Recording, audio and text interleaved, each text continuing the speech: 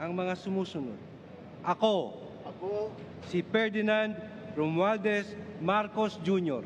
si Ferdinand Romualdez Marcos Jr., ay mataimtim na nanunumpa. ay taimtim na nanunumpa Natutuparin ko ng buong katapatan at sigasig Nabu, natutuparin ko na buong katapatan at sigasig ang aking mga tungkulin. Ang aking mga tungkulin bilang Pangulo ng Pilipinas, bilang Pangulo ng Pilipinas, pangangalagaan pangangalagaan at ipagtatanggol at ipagtatanggol ang kanyang konstitusyon. ang kanyang konstitusyon, Ipatutupad ang mga batas nito, ipapatupad ang mga batas nito, magiging makatarungan sa bawat tao. magiging makatarungan sa bawat tao, at itatalaga ang aking sarili at itatalaga ang aking sarili sa paglilingkod sa bansa.